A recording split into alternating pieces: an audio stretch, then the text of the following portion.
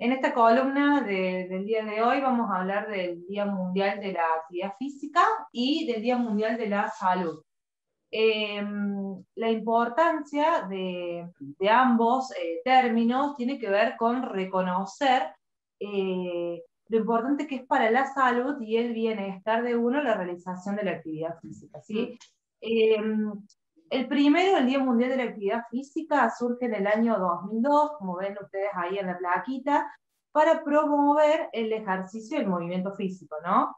Eh, y el segundo ya fue en 1948, que es el Día Mundial de la Salud, mm. eh, para conmemorar cuando eh, se fundó la Organización Mundial de la Salud. Entonces, bueno, ambos días son muy importantes en este mes, así que por eso vamos a hablar de, de esto. La salud, eh, como ven, eh, ambos términos ahí que aparecen en la plaquita, eh, tenemos la definición de salud y la definición de actividad física. La salud es un estado de perfecto, o sea que hablamos de un equilibrio entre lo que sería lo físico, lo mental y lo social. Y no solamente de decir no tengo una enfermedad, sino que tiene que ver con todo este equilibrio.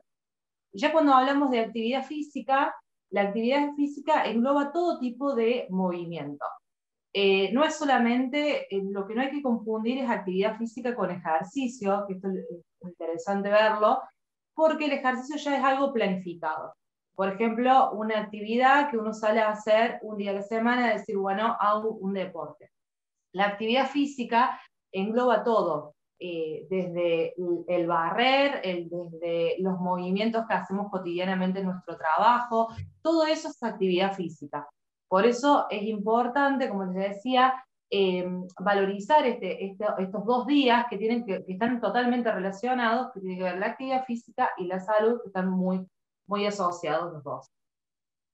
Eh, en la siguiente placa yo les ofrezco unas estadísticas si las miramos, realmente es bastante preocupante a lo que es a nivel de Argentina.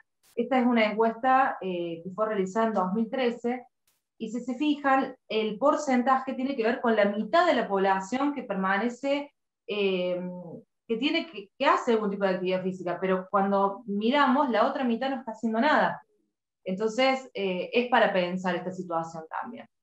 Podríamos decir también que, que a raíz de la pandemia se produjo también un cambio con respecto a la realización de actividad física. Con la pandemia cambió muchísimo, es más, eh, hubo nuevas actualizaciones.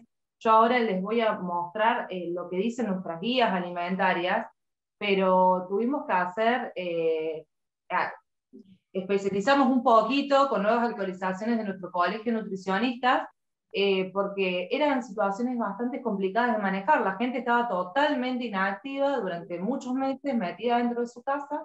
Entonces lo que decían las guías alimentarias no coincidía con lo que se estaba pudiendo hacer.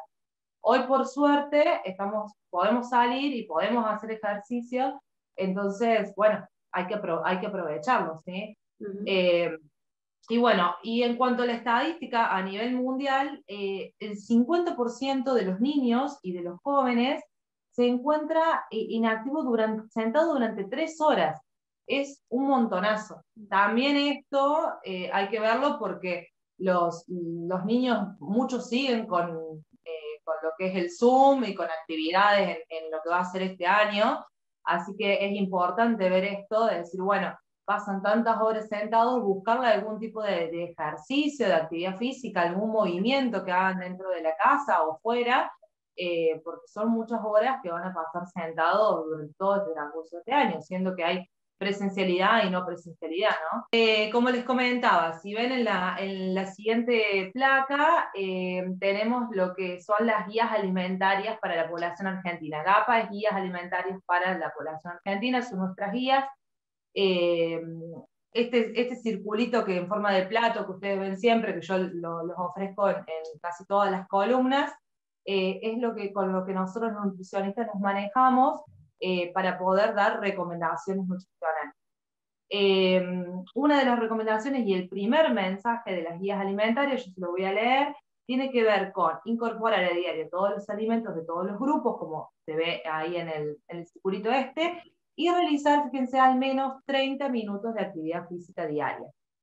Esto va a variar de acuerdo a si somos adultos o si son niños y adolescentes. ¿sí? Los 30 minutos de actividad física diaria pueden ser en forma continua o se pueden dividir, que no sean menos de 10 minutos, que no sea 5, 5, sino de última 10 minutos, 10 minutos, 10 minutos. De hacer un ejercicio, se puede cortar, después se puede salir a, a caminar o se puede hacer alguna actividad en la casa que requiera movimiento.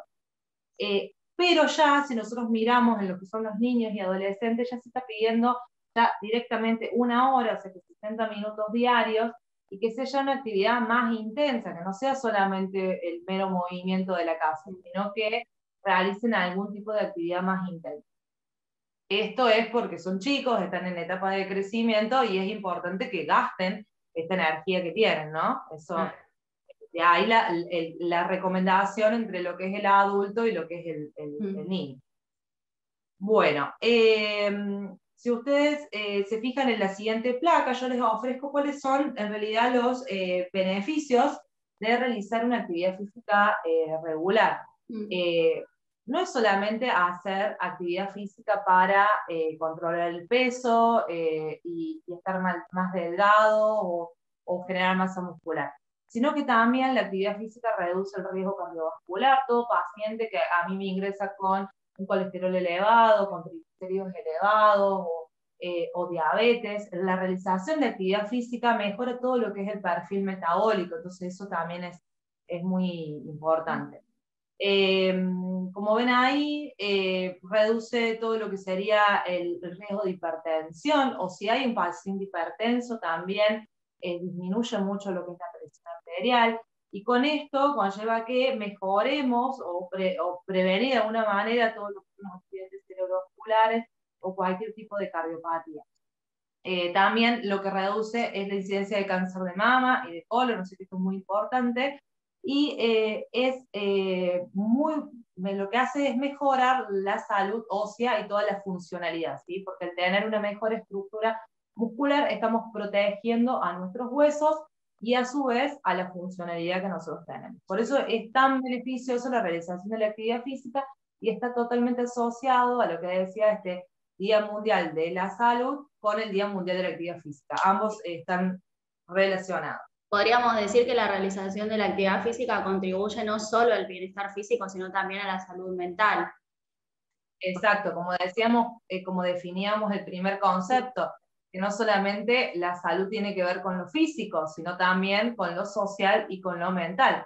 Ah. La realización de actividad física puede ser con un otro, te lleva a, una, a una, relación con, con, la sociedad, entonces también tiene que ver con socialización, a nivel mental te produce una relajación, estás pensando en otra cosa, eh, no es solamente lo físico, sino que es a nivel general.